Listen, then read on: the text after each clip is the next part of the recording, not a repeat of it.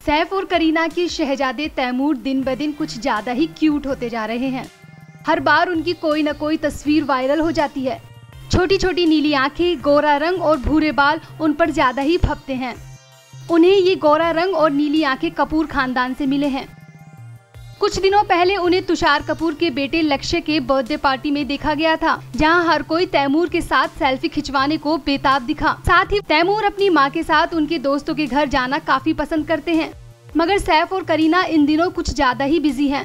तो नन्हे तैमूर अपनी नैनी के साथ ज़्यादातर टाइम स्पेंड करते हैं। कभी जिम, कभी शूटिंग, कभी पार्टी और कभी दोस्तों के साथ मौज मस्ती में करीना अक्सर बिज़ी रहती है और तैमूर उनके साथ नहीं होते। ऐसे में तैमूर अपनी दो नैनी के भरोसे होते हैं। वैसे लेटेस्ट खबर ये है कि लिटिल तैमूर को बारिश काफ़ी पसंद है। ये हम नहीं कह रहे, बल्कि ये तस्वीरें बयां कर रही है। एक तरफ़ माँ करीना कपूर अपने वज़न को कम करने के लिए बारिश में भी जिम जाना नहीं छोड़ रही तो वहीं दूसरी तरफ़ तैमूर झूले पर बैठकर बारिश का लुत्फ उठाते कैमरे में कैप्चर हुए हैं। वो इस बारिश को अपनी बालकनी से निहार रहे हैं। इस दौरान उनके साथ दो दो नैनी भी नज़र आ रही हैं। वैसे भी ये तैमूर का पहला सावन है, जिसे वो मिस नहीं करना चाहते लेकिन इन फ़ोटोज़ में माँ करीना और पिता सैफ नहीं है मतलब इस दौरान भी तैमूर अकेले ही थे फ़ोटोज़ में दो दो नैनी तो नज़र आ रही हैं, पर मम्मा पापा गायब हैं। खबर है कि करीना इन दिनों काफ़ी बिज़ी हैं। ज़्यादा से ज़्यादा टाइम वो जिम में पसीना बहा रही हैं।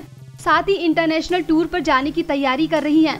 फिर वीरे दी वेडिंग की शूटिंग में बिज़ी होने वाली है अब इस दौरान तैमूर उनके साथ होंगे या आया के हवाले, ये अभी कह पाना मुश्किल है। Flame media report.